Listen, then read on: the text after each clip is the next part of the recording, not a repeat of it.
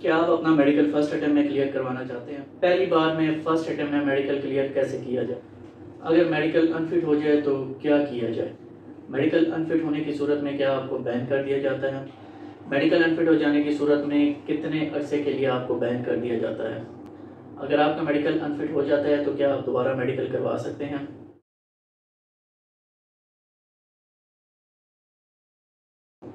अस्सलाम वालेकुम, मैं सैयद शान नदीम, कैमरा सीरीज़ के एक और वीडियो में आपके पेशे खिदमत हाजिर हूँ। आज का जो हमारा टॉपिक है, वो है मेडिकल क्लियरेंस के हवाले से क्या मेडिकल जो है वो फ़र्स्ट अटैम्प में क्लियर कैसे किया जाए। एक और रिक्वेस्ट आपसे ये है कि हमारी टीम जो है वो वीडियो बनाने के लिए बहुत मेहनत करती है आप लोगों के लिए।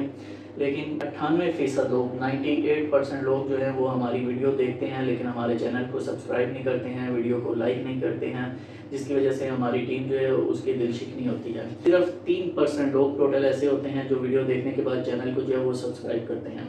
इसलिए आपसे रिक्वेस्ट है कि जब भी आप वीडियो देखें वीडियो को हमेशा लाइक करें चैनल को सब्सक्राइब करें, जिससे हमारी हौसला अफजाई होती है टीम की।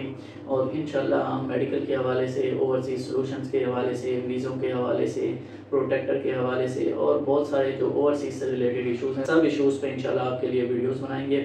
इसलिए इस चैनल को सब्सक्राइब करें बेल आइकन को क्लिक करें, ताकि आने वाली जितनी भी वीडियोस हैं वो बहुत इंपॉर्टेंट होने वाली हैं ओवरसीज़ के हवाले से, ताकि आपकी वीडियो मिस ना हो और आपको कहीं भी, कोई भी किसी भी किस्म की मुश्किल का सामना ना करना अगर आप सऊदिया बहरीन, ओमान कोत यू इन तमाम ममालिक में से किसी भी मुल्क में वर्क वीज़े फैमिली वीज़े पे जाना चाहते हैं तो सबसे पहले आपका मेडिकल जो है वो किया जाता है। मेडिकल जो है वो बहुत ज़रूरी है, इस वजह से कि अगर मेडिकल जो है वो क्लियर नहीं होता तो आपका वीज़ा प्रोसेस नहीं हो सकता।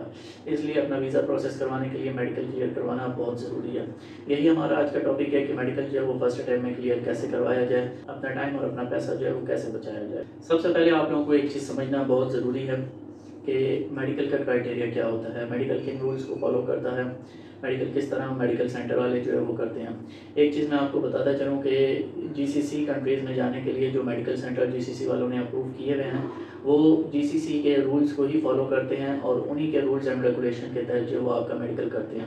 एक सवाल यहाँ पे जो सबसे ज़्यादा आता है कि हमने बाहर किसी लैब से मेडिकल करवाया है, वहाँ से हमारा मेडिकल क्लियर आता है, लेकिन जब हम मेडिकल सेंटर में जाते हैं तो वहाँ वो हमें अनफिट कर देते हैं।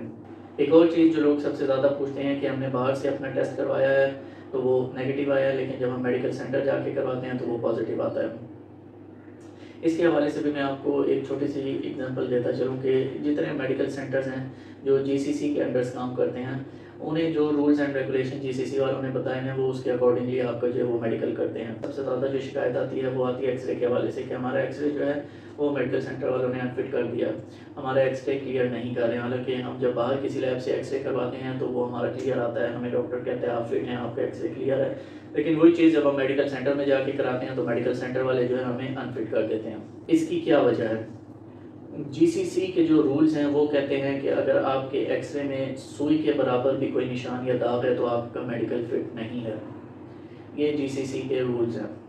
यही चीज़ अगर आप बाहर किसी भी लैब से एक्सरे कराते हैं तो वो ये छोटे मोटे निशान जो हैं, इनको इतनी इंपॉर्टेंस नहीं देते हैं, क्योंकि ये अगर बचपन में आपको नमूनिया हो जाए या आपको टीबी हुआ हो, आपने अपना इलाज करवाया हो तो ये निशान जो हैं, ये चेस्ट पे आपके जो हैं, वो रह जाते हैं और ये ख़त्म नहीं होते हैं फिर। लेकिन आपने अपना इलाज करा लिया, आपकी बीमारी ठीक हो गई है।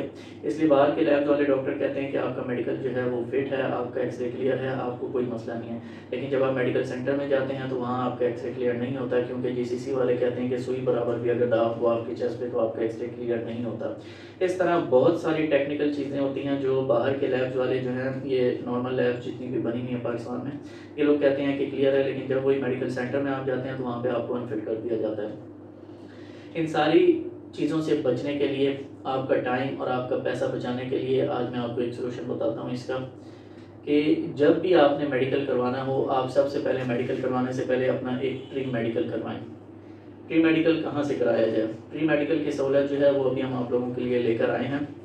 अगर आप लोगों ने चाहते हैं कि आपका मेडिकल फ़र्स्ट अटैम्प्ट में ही क्लियर हो अकॉर्डिंग टू जीसीसी रूल्स आपका प्री मेडिकल जो है वो हम लोग करते हैं। यहाँ पे बहुत सारे इश्यूज़ पैदा हो जाते हैं अगर आपका मेडिकल जो है वो अनफिट हो जाता है तो। क्योंकि जब आप मेडिकल सेंटर में जाते हैं और मेडिकल सेंटर वालों ने एक दफ़ा आपको अनफिट कर दिया तो आप कुछ अरसे के लिए बैन कर दिए जाते हैं जीसीसी कंट्रीज़ के लिए आप अपना दोबारा मेडिकल कुछ टाइम के लिए जो है वो नहीं करा सकते। किसी भी शहर से पाकिस्तान से, पाकिस्तान के किसी भी शहर से दोबारा आपका मेडिकल कुछ अर्से के लिए नहीं हो सकता। जिसमें आपका वीज़ा भी ज़ाया चला जाता है, आपकी फ़ीस भी ज़ाया चली जाती है मेडिकल की आपका टाइम भी ज़ाया जाता है। तो इन सब चीज़ों से बचने के लिए जो है हम आपके लिए लेके आए हैं प्री मेडिकल की सहूलत।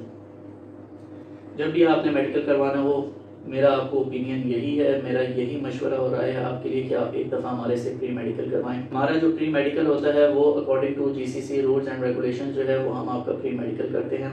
और उसमें आपको बताया जाता है कि आपको कोई इशू है या नहीं है, आपका मेडिकल फ़र्स्ट अटैम्प में क्लियर हो सकता है या नहीं हो सकता। अगर तो आपको कोई इशू भी नहीं होगा तो इंशाल्लाह हमारे डॉक्टर जो हैं, वो अपनी एक्सपर्ट ओपिनियन के साथ आपको बताएँगे कि आप बिला खौफ जाके मेडिकल कराएँ। इंशाल्लाह आपका मेडिकल फ़र्स्ट अटैम्प में ही जो है, वो क्लियर होगा।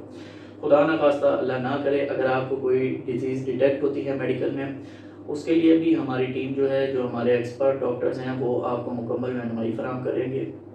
आपको आपकी बीमारी के हवाले से कंप्लीट गाइडेंस देंगे, उसका ट्रीटमेंट आपको बताएँगे, और इन आपका ट्रीटमेंट पूरे होने के बाद आपको मेडिकल के लिए अपेयर करवाएँगे, और आपका मेडिकल जो है, वो फ़र्स्ट में जो है, वो क्लियर होगा।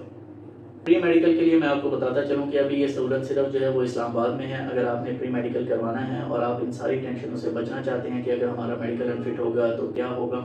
तो आप जो है हमसे रबता कर सकते हैं और इस्लामाबाद आके हमारे से प्री मेडिकल जो है वो करवा सकते हैं।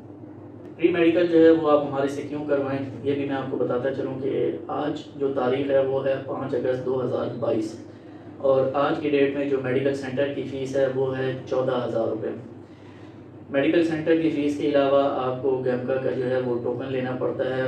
उसकी भी फ़ीस जो है वो दस डॉलर फ़ीस है।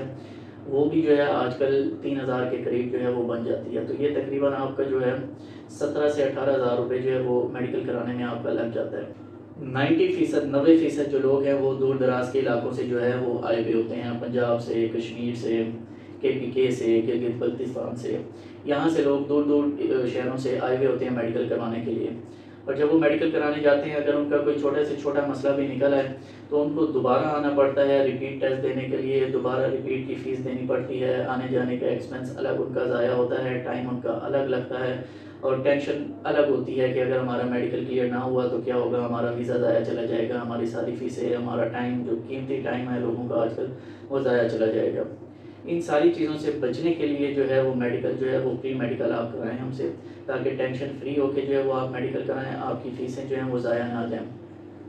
अगर एक दफ़ा आपका कोई भी टेस्ट रिपीट हो जाता है तो आपका आने जाने का अलग एक्सपेंस लगता है, फिर मेडिकल सेंटर वाले आपका रिपीट टेस्ट करने के लिए अलग फ़ीस चार्ज करते हैं।